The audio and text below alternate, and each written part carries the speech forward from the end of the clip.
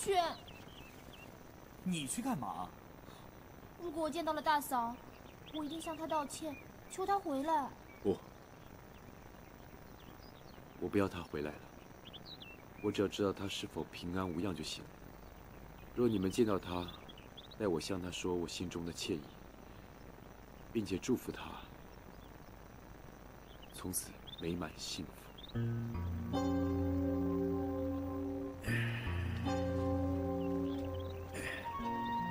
原先我要给他的一万银元带着，若见到他，无论如何请他收下，以弥补我对他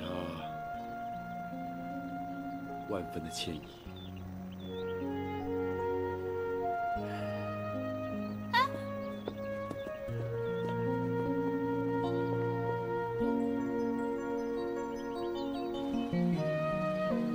我对不起大表嫂，到时候看到他，我一定要把石英还给他。求他原谅我，还好意思说？可说好了，一会儿找到他们，你们可得付我十个银元。放心吧，再加你十个都成。真的？那那我们赶紧往前面找去。前面要是找不着他们了，我们再到别处去找。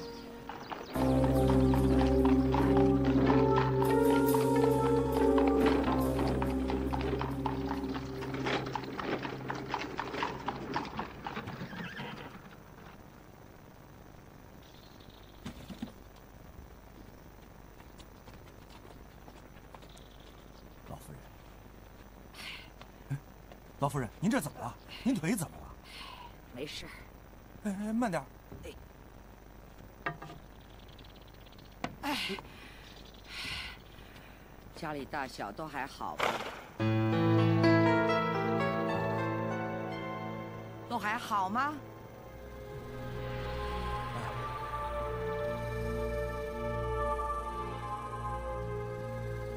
不会是大少爷他？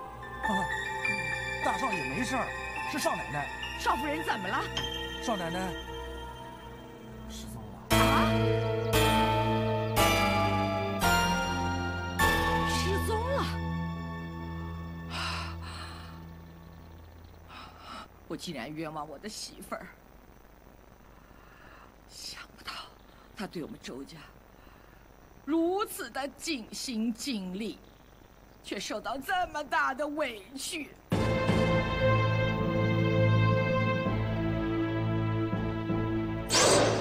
那你就择一吧，可要我将你送官处置？好，重打三十大棍，请家法。对他用家法，还把他关在柴房里，我错了，我们都错了，尤其是妈错的最如果金云真的有三长两短，我我怎么对得起我的良心呢？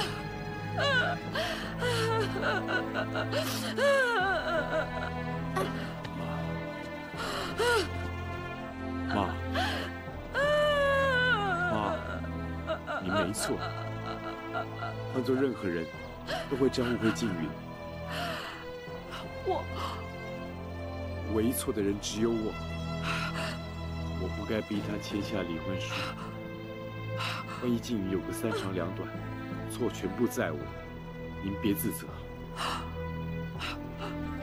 是我的错，是我的错，我老糊涂，老糊涂，老糊涂。老夫人，您不要太自责。少奶奶这么贤惠，肯定诸神保佑，不会让她受到任何伤害。您呢，放心，一有任何少奶奶的消息，我们立即通知您。您老就放心吧，先回房休息。是啊，太太，您膝盖的伤还没有恢复，您还是在床上多躺一会儿，这样伤口恢复的快一些啊。怎么？老夫人膝盖受伤，怎么回事？没事儿，没事儿，别操心啊，妈。下楼梯不小心摔着了，一点皮肉伤，不碍事，不碍事。周峰，赶紧去找少奶奶，现在最要紧的事就把少奶奶给我找回来呀！找少奶奶的事儿，我们一直没有停过，您就我回来了。啊。一，嗯。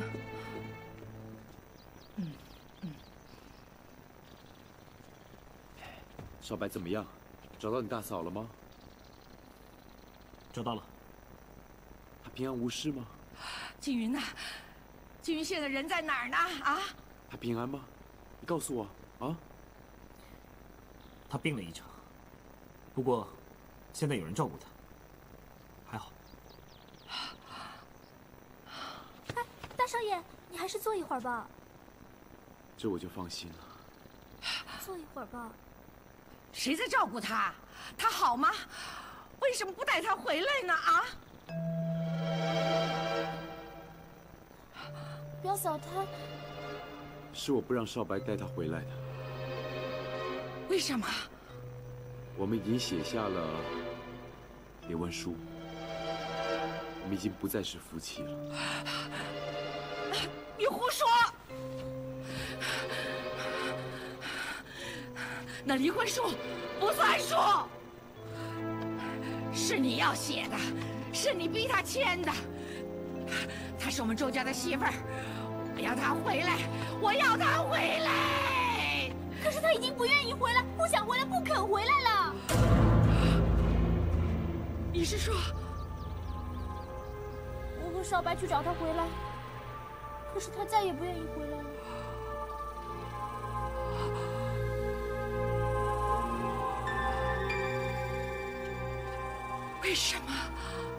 为什么？得问咱们自己啊！问咱们自己是怎么对待他？问咱们是怎么一开始骗他上花轿？问妈是怎么一开始将他们家欠咱们家的债逼他与大哥共处一室？问大哥是怎么对待他的？为何与我共谋骗大嫂回娘家，却在大嫂情深意厚回到咱们周家时，还要遭你们那样子的棒打？问湘君是怎么对待他的？问咱们周家上下是怎么污蔑他的？问他对大哥是否还不够好？否则妈又怎么忍心将他关在柴房？咱们问问自己吧，咱们扪心自问吧。问他过得好不好？问他为什么还要回来？咱们问问自己吧，问问自己吧。你给我站住！老夫人，就因为这样，咱们才更要请她回来，这才能够补偿她呀。她是咱们周家的媳妇儿，能要她回来，要她回来。我无能为力，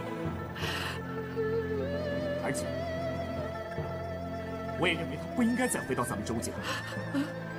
至少，他现在要比在咱们周家任何时候过得都要好。起码，有人对他照顾的无微不至，不像在咱们周家，活像陪葬的活俑。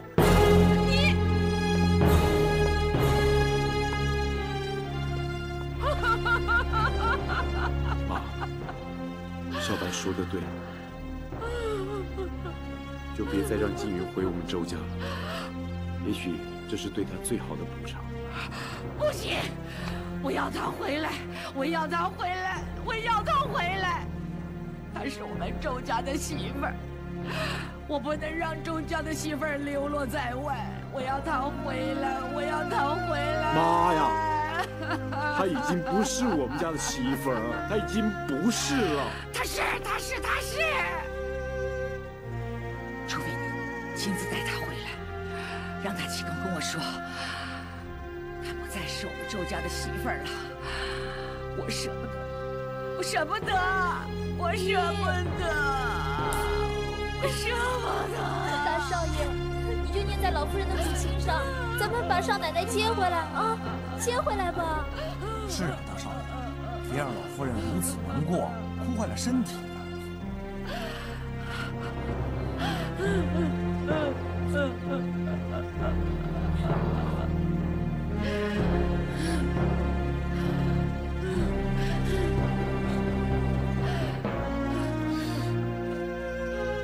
还是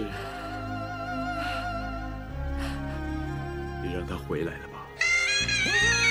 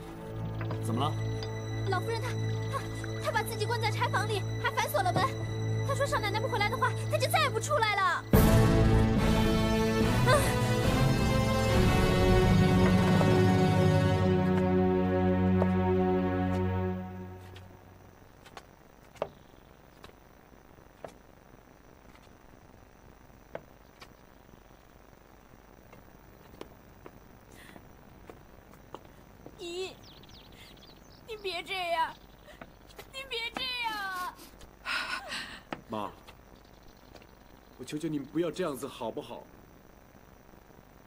若咱们真的是为了静云好，就不该再让静云回到咱们家。少白说的没错，何苦让静云在咱们家活像个陪葬的活佣呢？我不知道什么叫活佣，我只知道静云一天不回来，我就一天不离开这个柴房。一天看不到静云，我一天不吃东西。你们要是嫌我这个老太婆活着碍眼，你们就活活把我饿死吧。要早一点去见周家的列祖列宗，给他们磕头赔不是。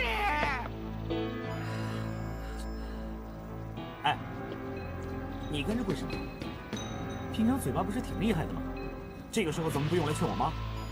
妈，是人家不愿意再当咱们家的儿媳妇儿，你叫咱们硬绑她回来吗？我不信，我不信静云不再回到咱们周家了。我告诉你们，谁把她赶走，谁就负责把她找回来。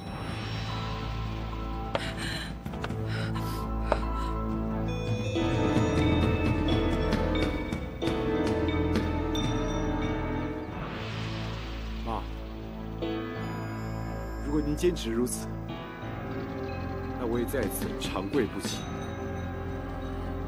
您一天不出来，我也一天跪着不起来。您饿一餐，我也陪您饿一餐。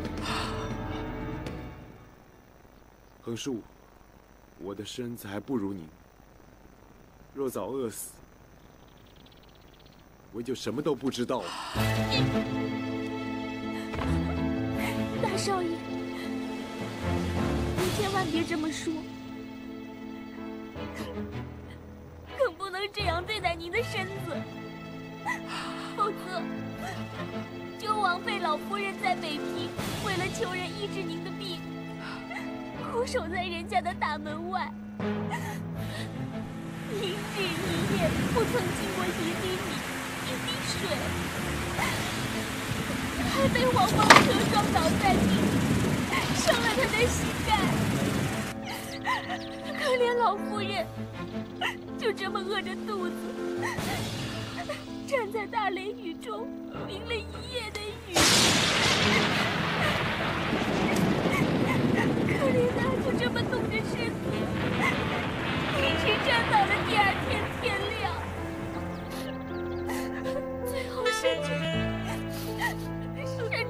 求人家医治您的病，还像一个看门的门房，若曦磕头，下跪央求。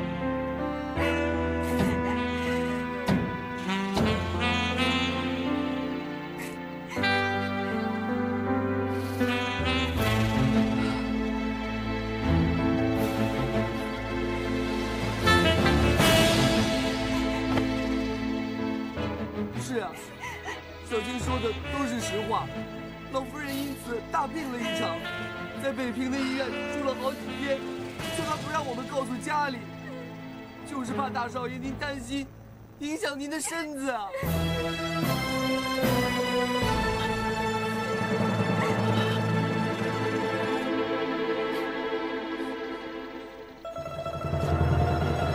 妈，少鹏不孝。我不孝，害你为了少普如此受苦。少普不孝，少普不孝，少普不孝。大少爷，大少爷，您就体谅老夫人的苦心吧。咱们这就去把少奶奶接回来，一家团圆吧。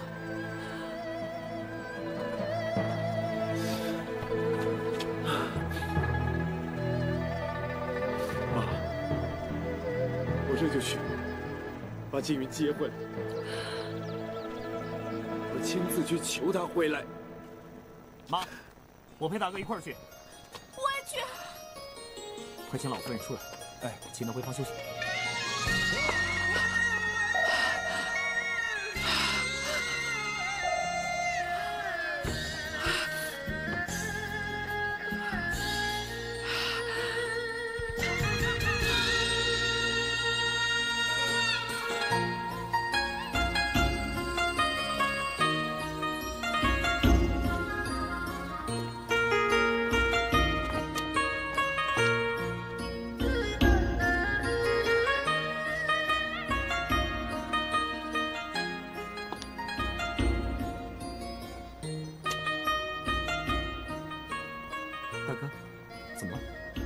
表哥，怎么了？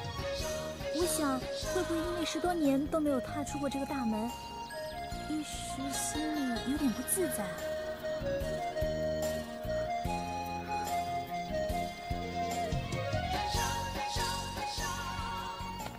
大哥，你还记不记得？你还记不记得，咱俩小时候老喜欢在这里打陀螺，记不记得？那你记得是你的技术好呢，还是我的技术好啊？是是你的技术好。记性不错嘛。那这样，改天我叫大嫂打，让她代表你，我们来比赛。这这他赢得了你吗？我让她不就得了？那也得看他这次愿不愿意跟我回来。表哥亲自请大嫂回来，他一定会回来的。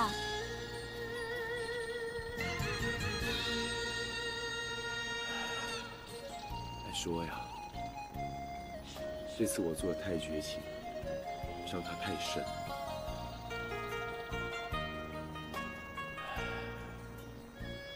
见了面，我都不知道该跟他说些什么，也或者不愿意跟我见面。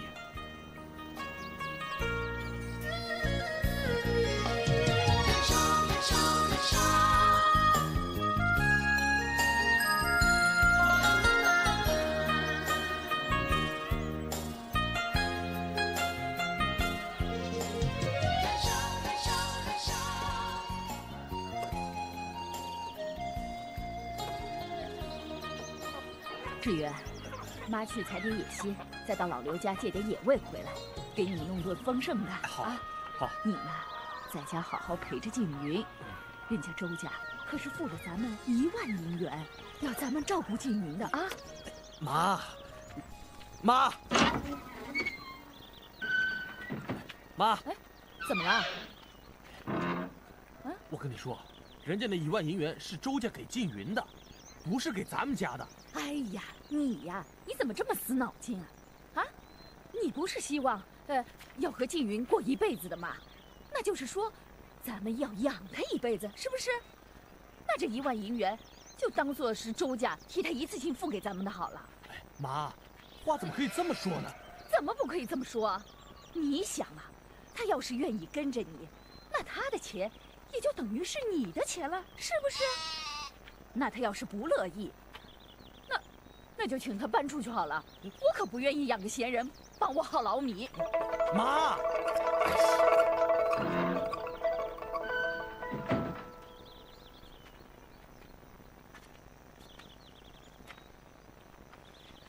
静云，外头凉，你的病又刚刚好，应该多在屋里休息，以免又着凉了。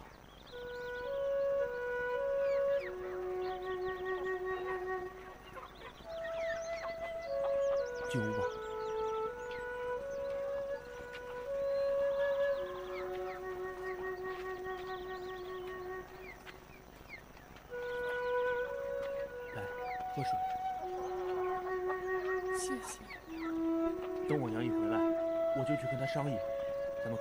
前往外地去。你，你可有什么特别钟爱的地方？那你可有什么想法？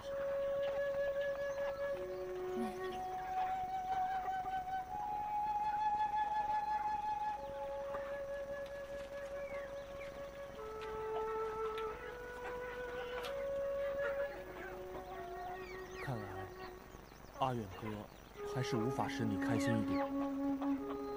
你，你还是不快乐。我很好，我只是想我妈妈，想我姐姐。只是我现在不知道他们身在何处，否则我马上带你去找他们。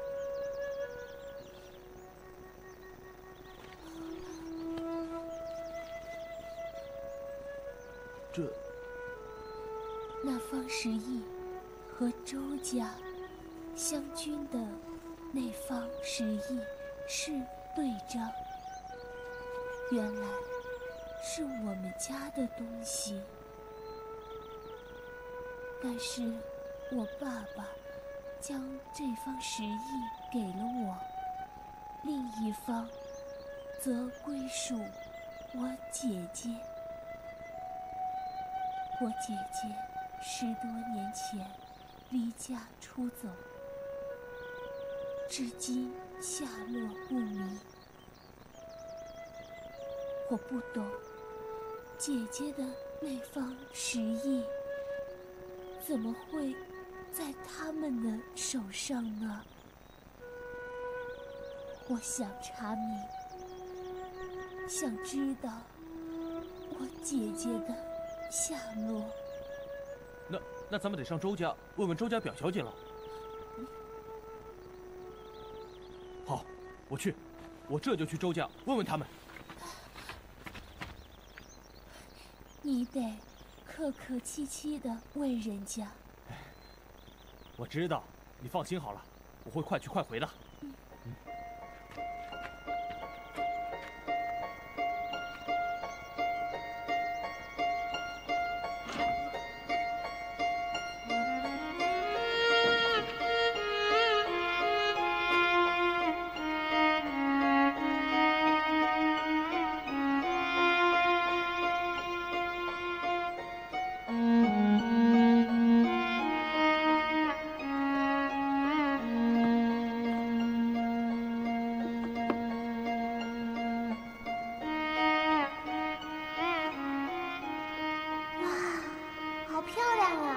嗯。是什么？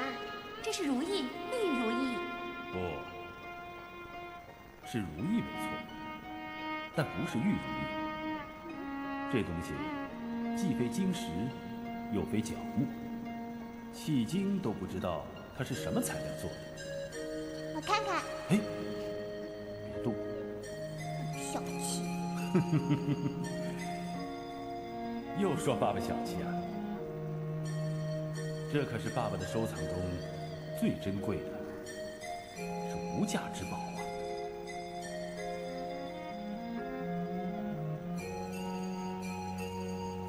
它是清朝顺治九年满榜状元麻勒吉献给顺治皇帝的宝物。经过康熙、雍正、乾隆、嘉庆、道光、咸丰皇帝的收藏，后来成了慈禧太后的最爱。据说慈禧太后垂帘听政的时候，她的宝座旁就放着这柄绿如意。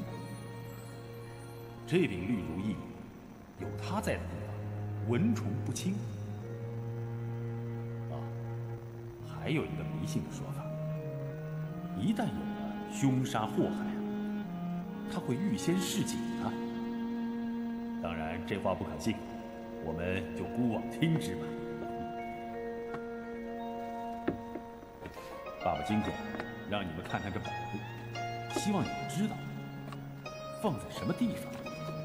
那是因为一旦有一天，爸爸有个三长两短的话，爸，你胡说！童言无忌，大风吹去。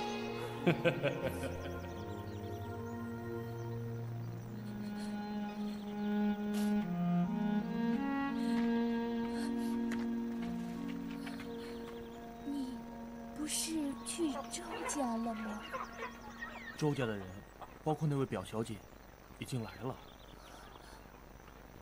周家的表小姐、二少爷，还有大少爷，就在屋外。周家的大少爷，没错，周家大少爷也来了，说说要带你回去了。有镜子吗？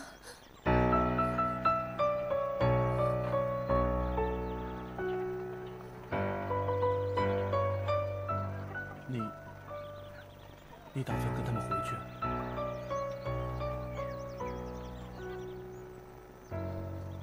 请他们回去吧，我不想和他们见面了。你就告诉周家大少爷，我和他的夫妻缘分已尽了，我们没有必要见面。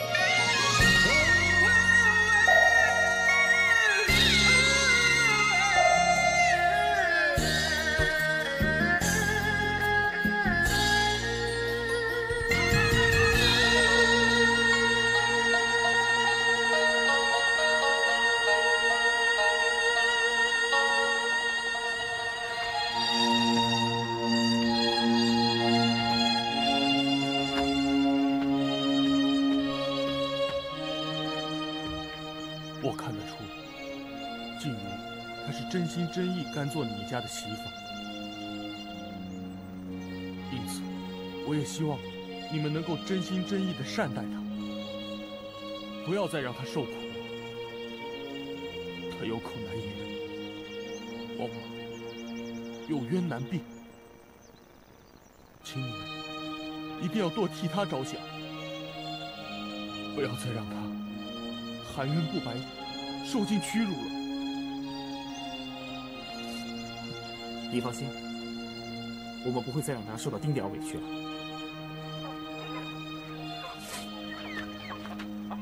只要让我知道，静云在你们周家再受到一点点的欺凌，我一定会去你们周家找你们拼命的。我相信你会的，可是我不会让你有这个机会哦。那就好。小红，你还愣着干什么？赶紧把咱们带来的一品人参送给薛先生，感谢薛先生这几天对表嫂的照顾啊。哦，是薛先生。我不收你们的东西。你，你是小红姑娘吧？嗯。静云老跟我提起你，都夸你好呢，说你怎么怎么对她好。都是少奶奶对我百般好，她从来都没有把我当过下人。都是少奶奶对我好。你，谢谢你对静云的百般照顾。静云告诉我，在周家你最护着她了，谢谢你。我大嫂人那么好，我不护她护谁呀？是啊，她还为了大嫂跟我大吵了好几架呢，总是护着大嫂，不护我。你，你是周家表小姐吧？季云也跟我几度提起过你。我，我跟他是有一点误会。季云，这个倒没跟我提起过。他说在周家，你是最率真、最可爱的人了。他真的这么说我？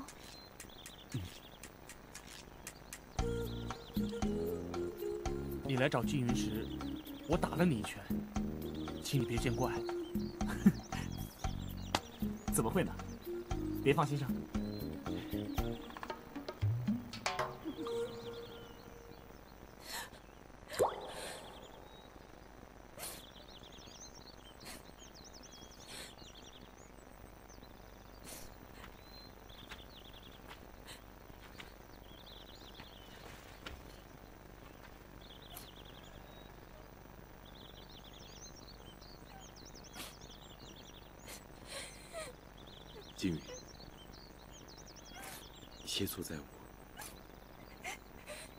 真的不知道该如何向你道歉，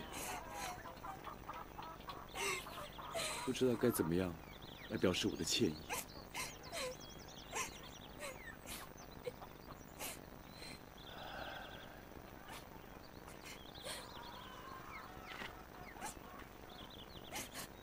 回去吧。回去吧。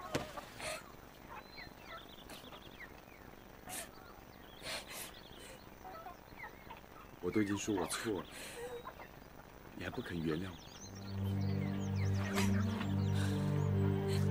我没有错，你都不肯原谅我，还逼着我签离婚书，还说如果我不签，就要告我，让我和你连朋友都做不成。我之所以会逼你签离婚书，是是为我好。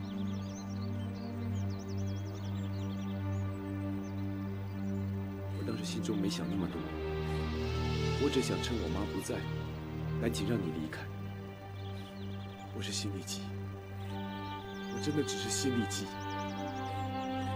我想让你趁我妈不在的时候赶快离开，免得让我妈看到，又叫人看着你。那你为什么现在又要来找我回去？为了什么？是我妈的意思。原来如此啊！要我回去，是因为你妈的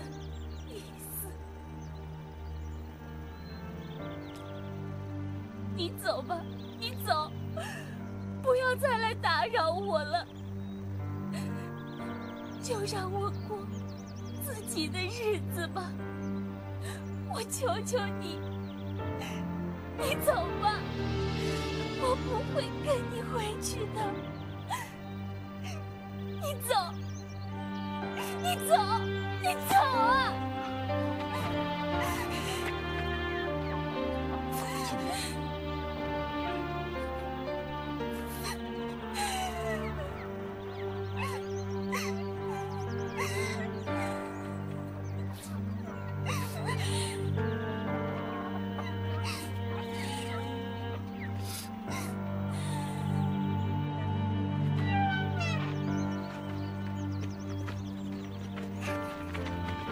大少爷，大哥，哎，表嫂呢？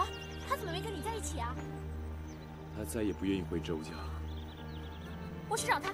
不用，这样也好，反而顺遂了我原先的希望。那我，那我去劝劝她。志远兄，你们若有任何困难，欢欢迎你随时来找我帮忙。或者我已经不在的话，你可以随时找我弟弟周少白，他一定会乐意帮你。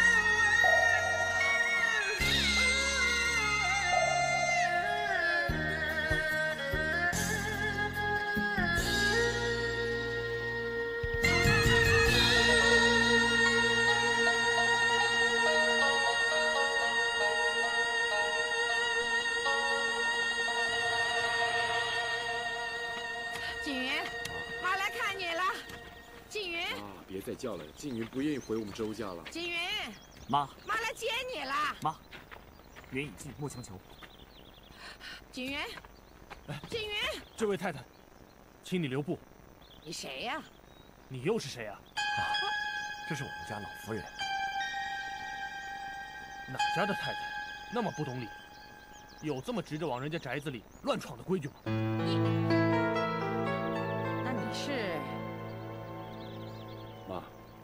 这位就是何静云从小青梅竹马一块长大的好朋友，薛志远。哦，就是你呀、告诉静云，说我来接她了。对不起，我不是你们家的下人，不听你的使唤。请你出去。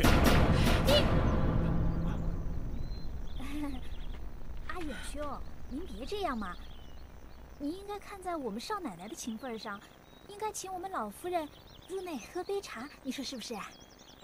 不行，啊，静云已经不是周家的媳妇了，我无需顾念这个情分。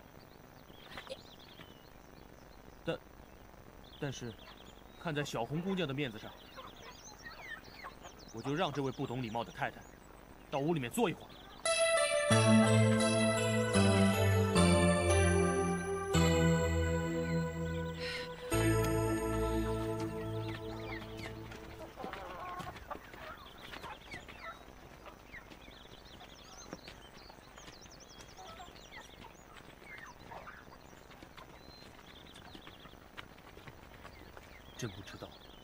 我为什么要这么帮你。我知道，你这么做，全是为了他，我大嫂。只要是他心里想的，你就绝不肯让他失望；只要是他心里期盼的，你说什么都要成全他。哪怕你这么做心里有千百个不愿意。谢谢，谢谢你告诉我。既然我知道静云心里仍当自己是周家的媳妇，我就没理由不让她与她的婆婆见面。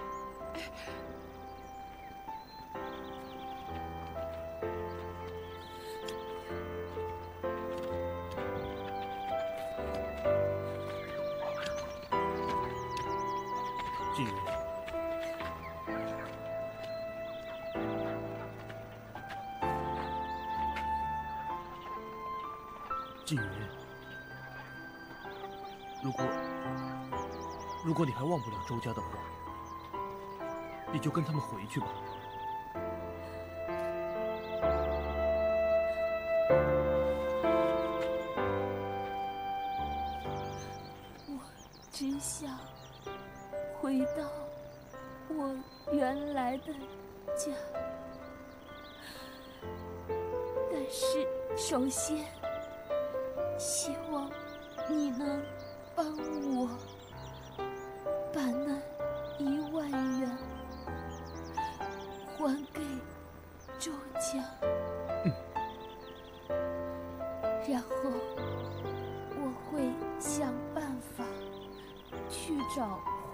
干我们林家欠周家的钱我一定会还的虽然他们已经把我妈写给他们的那些借据欠条。都销毁了。但是我们做人应该清清白白的曾欠人的就得还。等我还清了那些债我想我也老了。